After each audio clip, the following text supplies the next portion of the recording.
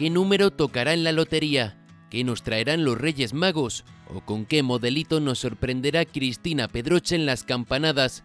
Estas son algunas de las preguntas que más nos hemos hecho los españoles en los últimos años y consciente de ello, la presentadora ya calienta motores con el look con el que despedirá este 2021.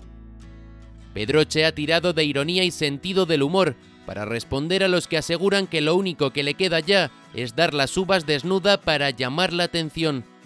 Y eso ha hecho, llamar la atención respondiendo a sus haters con su propia medicina, pues ni más ni menos que desnudándose mientras camina por la calle Alcalá dirección a la Puerta del Sol. Muy seria y consciente de la expectación que se ha creado en torno a su look, la presentadora se deshace de su abrigo y de su vestido hasta quedarse completamente desnuda. Sin duda, una manera muy pedroche de calentar motores para la última noche del año.